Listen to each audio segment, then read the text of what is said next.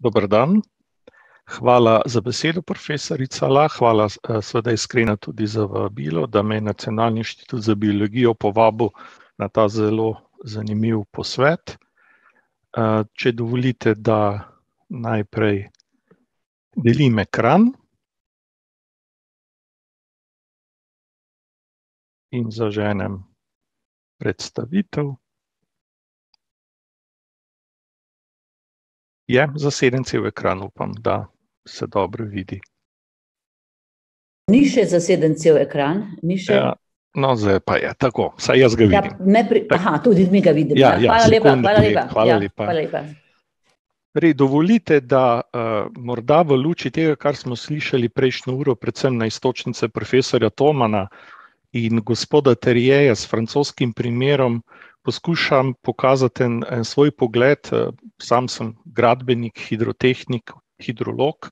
Kot vidite, prihajam tudi z Unescove katedre za zmanjševanje tveganj ob vodnih ujmah, morda bom pokazal tam nekoliko bolj inženirski pogled na hidromorfološko stanje, posebej seveda slovenskih vodotokov in na možnosti njihovega izboljšanja. Zdaj, hidromorfološko stanje vodotokov je glede na današnjo razpravo pravzaprav en zelo ozek segment, slišali smo mnogo širše razprave, predvsem recimo Mladih za podnebno pravičnost, tudi profesor Toman je odprl, bi rekel, širši pogled, pa vendar, morda se na koncu lahko povrnem na te nekoliko širše poglede. Če ocenjujemo hidromorfološko stanje vodotokov, desno vidite primer reke Soče pri Soči kot en tak primer naravno ohranjenega vodotoka v Sloveniji. Se moramo zavedati, da oblikujejo to stanje seveda naravni procesi. Ti se dogajajo v času in delujejo v prostoru, ne samo na mestu, ki ga gledamo. To seveda zahteva neki celostni pristop pri obravnavi procesov, in če želimo seveda poznati ta prostor, si ga moramo nekako razdeliti. Slišali smo na francoskih primerih, kako je francoska država, in podobno je Slovenija, razdeljena na porečja, to je celotna površina, s katere se steka voda. Nekoliko ožje si lahko pogledamo samo rečni koridor, torej reko z njenimi deli, torej dno struge, brežine struge, pa vendar tudi poplavne ravnice, na katerih seveda reka s svojimi procesi deluje. Torej osnova razumevanja, kot je rekel profesor Toman, dogajanja, kar vidimo v naravi, je gotovo razumevanje teh procesov. Konkretno v primeru hidromorfološkega stanja, če bolj ostanem morda na abiotičnih procesih, je njihovo razumevanje in potem z njimi povezanih morfoloških sprememb. Zdaj, kako seveda to lahko opravimo? Gotovo s stalnim opazovanjem, stalno prisotnostjo, no, ponavadi to sistematično urejamo z monitoringom ali rečnih koridorjev, kar je veliko dela, morda krajših odsekov, ali samo manjših prečnih prerezov. V nadaljevanju bi samo na hitro pregledal, brez želje, da seveda vidimo podrobnosti, kako smo od devetdesetih let pravzaprav gradili pristop k ocenjevanju hidromorfološkega stanja in sploh izgleda vodotokov. Začelo se v devetdesetih letih, ko smo vrednotili v bistvu krajinske značilnosti vodotoka, to je bila ena magistrska naloga kolegice Bratine Jurkovič, opis naravnih vodotokov v prvem razredu, potem smo pogledali, kaj je človek na njih uredil, in v četrti razred smo razvrstili toge ureditve iz umetnih materialov, neke vrste, smo slišali, mrtve vodotoke, razvrednotene vodotoke. Ta klasifikacija ni nič govorila seveda o kakovosti, ampak o izgledu in ohranjenosti vodotokov glede na poseganje človeka. No, to se je potem nadaljevalo v doktoratu kolege Bizjaka, Aleša Bizjaka, ki je krajinski arhitekt, torej ponovno je šlo za neko vizualno metodo, ko je primerjal metode ocenjevanja tega stanja v Evropi in je poskušal z lastnim pristopom, kot neke sintezno metodo je to imenoval, uporabil je močna, seveda tudi statistična orodja, delal je na transektni metodi, torej vodotok razdelil v neke prečne prereze, krajše odseke, ki jih je opazoval.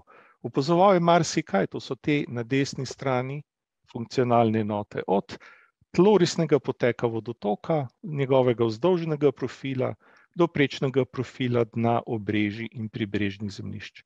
Našel je zelo veliko spremenljivk, na koncu jih je poskušal, da rečem, nekoliko to njihovo število zmanjšati. Se pravi, uporaba take metode, prisotnost, terenski ogled, terenski popis, zelo veliko dela.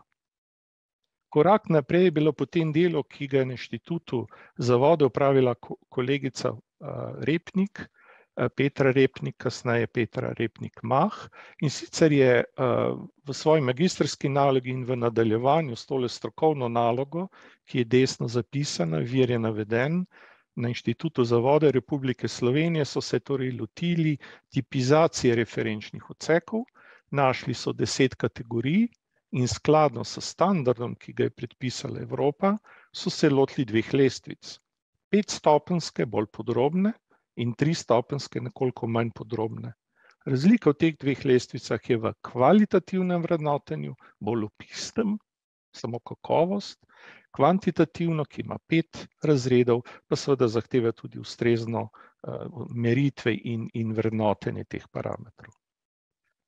No, vrh je potem pravzaprav predstavljalo delo, ki ga je opravil kolega Urbanič, tudi na Inštitutu za vode Republike Slovenije, s sodelavci, Tavzes, Petkovska in na koncu Knehtl, torej gre dejansko za raziskovalno delo, ki se je končalo z doktorskimi dizertacijami.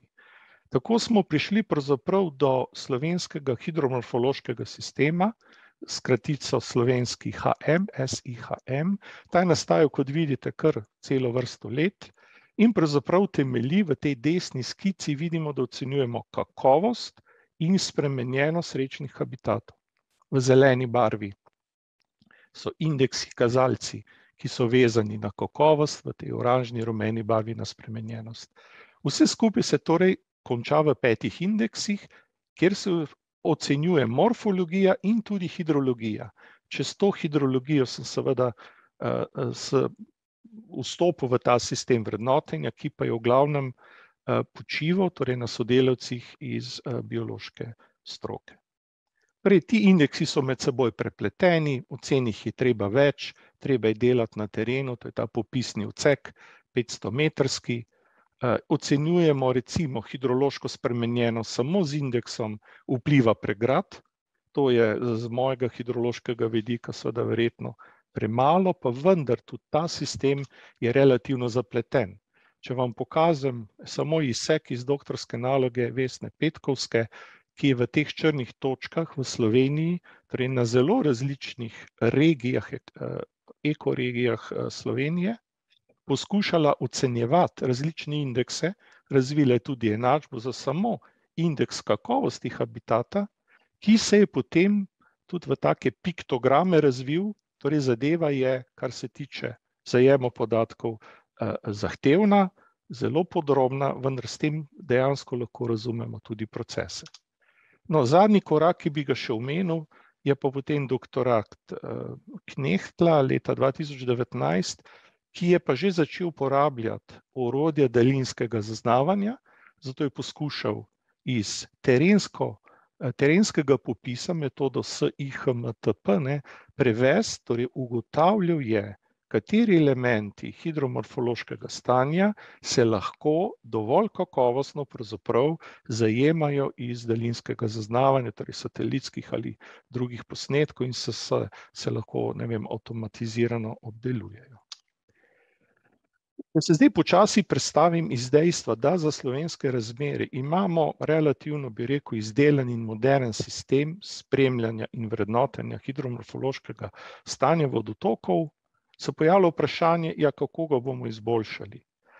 Jaz sem mnenja, da to seveda ne moremo izboljševati samo lokalno, točkovno, ampak se je treba tega lotiti sistemsko, skratka, v tistem širokem okviru ukrepov ali delovanja v prostoru, konkretno recimo sem si šel pogledat, ali lahko to področje hidromorfologije najdemo v katalogu naravnega zadrževanja voda. Kot vemo, so sonaravne rešitve, ne, vezane, da se dogajajo tako na področju kmetijstva, gozdarstva, v urbanem okolju, pa tudi v povezavi z rekami, brežinami, poplavnimi ravnicami in koridorjem. In dejansko je tukaj nastal v Evropi en tak uh, katalog, med njimi 14 različnih uh, ukrepov, če želite, z področja uh, vodarstva, vendar ki so usmerjeni v hidromorfologijo.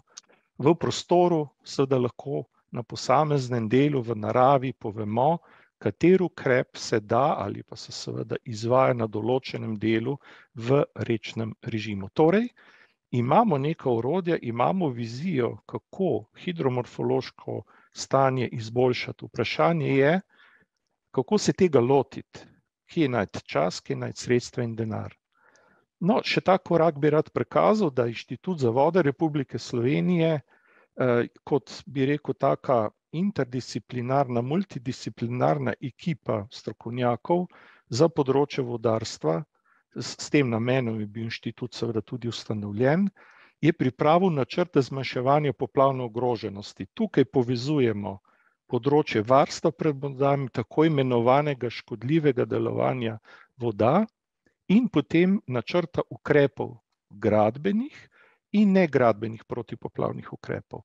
Skratka, za, za tako ukrepanje, za varovanje pred poplavami imamo sistem in imamo ustrezna sredstva, na njih se sklicuje vodna direktiva, na njih se sklicuje poplavna direktiva. To je ukvir, o katerem je seveda na široko in seveda tudi lepo francoski uh, kolega povedal, en in drugi smo zavezani isti evropski zakonodaji.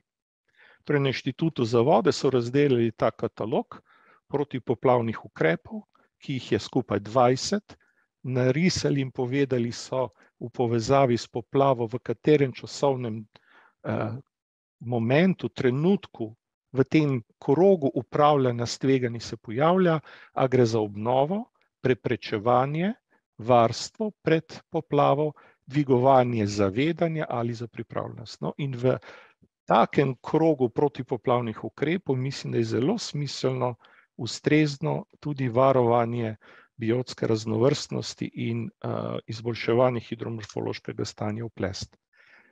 Če zdaj proti koncu poskušam, ker 15 minut je, kako bi rekel, v 15 minutah dobiš karto za ogled filma, ne? film traja nekaj dlje. Tukaj je ena dikcija ali pa en izraz, ki ga je Delta res, to je kar dost močna uh, firma na nizozemskem, ki se seveda ukvarja recimo s področjem od biologije do vodarstva, podnebno odporne rečne doline. Če zdaj pogledam rečni koridor rečne doline in ukrepe, tukaj levo narisane, ne, povezuje točno to, kar je profesor Toman uh, govoril. Ne. Če želim izboljšati kakovost voda, da teče v teh razvrednotenih, urejenih vodotokih vsaj čista voda, ne, jo to lahko tako zagotovim, da seveda rešujem kmetijstvo. Kmetijstvo je izredno uh, kemizirano, posod po svetu, zaradi visokih hektarskih donosov, to moram nujno rešiti. Od, omenjajo odplake v nasnaževanju iz urbanega okolja. Če govorimo o pametnih mestih, mesti, ki se prilagajajo klimatskim spremembam, ne, moramo odgovoriti dejansko tudi na vprašanje, kako so reke, rečni režim povezani z urbanim prostorom. In pa seveda potem ta, recimo, naravni sistem, se pravi, gozdne površine, še ostale, ki niso pozidane, niso kmetijsko izrabljene. Se pravi, če želimo uvajati so naravne rešitve v, na področju urejanja vodotokov, ne, na desni skici vidim, da so to razpršeni ukrepi, na celotni površini, kar potem pravzaprav že kar nekaj pove, ne, če zdaj izkoristim še te dve minuti za neko istočnico, upam, da bom na kakšno vprašanje v splošni razpravi lažje odgovoril. Torej, nujen je očitno vidimo multidisciplinarni pristop. Sam nisem biolog, sem gradbenik, z veseljem se udeležujem takega posveta. Moramo se pogovarjati, dejstvo je, nobena veda ali stroka nima absolutnega primata uh, nad recimo urejanjem te problematike. Slišali smo včeraj in danes, da obstajajo različne direktive in politike. Zdaj govorim seveda širše o energiji, zelenem prehodu. Eh, pravzaprav je treba to malo tudi uskladiti. Sicer imajo skupno vodilo, to je prilagajanje, namesto spreminjanja narave, prilagajanje naravnim danostim. To je gotovo stvar, ki jo je recimo iz predloga mladih za podnebno pravičnost absolutno za podpreti. da bi se v tem spremenjenem svetu, ki ga spreminjamo sami, ne samo klimatske podnebne spremembe, govorimo o dvigovanju odpornosti. Dvigovanje odpornosti zelo dobro gotovo je, da to storimo po naravni poti, da spodbujamo naravne rešitve. Zdaj mi to imenujemo nature-based solutions, v slovenščini lahko so naravne rešitve. Smo v antropocentričnem okolju, težko je popolnoma vzpostaviti prvotno naravo, pravzaprav je ne moremo več, moramo dati pa naravi seveda čim več mehanizmov, da prevlada lastna dinamika. Primeri so bili live projekti, zato se potrebuje čas, potrebuje se denar, čas v smislu izvedbe, in da narava to rešitev, ki smo si jo mi zamislili, tudi uresniči. Na čem lahko skupaj delamo? Na dvigovanju zavedanja, pa tudi znanja ljudi, torej teh bodočih aktivnih državljanov, in pa seveda, tudi to smo danes večkrat slišali, razumevanje odločevalcev, ki potem pravzaprav dajo denar in dajo možnosti, da to storimo. Vidimo, da tako ali drugače urejanje vodotoka in njihovo stanje je nujno reševati v okviru prostorskega planiranja in v bistvu iskanja kompromisa med različnimi interesi poseganja v prostor. Ne pozabimo na vodo, hrano in energijo, na to povezanost, torej če hočemo pri vodah nekaj spreminjati, moramo spremeniti pri hrani ali energiji. Če se odpovedujemo zeleni energiji iz vodnih hidroelektrarn, jih bomo morali nadomestiti drugje. Če hrane ne bomo pridelovali na kmetijskih površinah, jo bomo morali zagotavljati drugje. Vse pa je predvsem povezano, tudi to smo danes lepo slišali, z našim načinom življenja. Kaj je to vzdržni družbeni razvoj, že profesor Toman lepo povedal, ne vem, a ima narava neki svoj vzdržni razvoj ali ima samo stalno spreminjanje, v katerem se stvari in seveda v naravnem okolju pojavljajo razne vrste, nato tudi izumrejo. Človek je tu zelo moteč faktor, če vzamemo ta naravni proces, ki se dogaja na Zemlji. In če želimo spremeniti stanje vodotokov, potrebujemo več prostora, brez tega enostavno ne gre. Tako da hvala za pozornost, tukajle moj mail, slabih sedemnajst minut. Hvala lepa.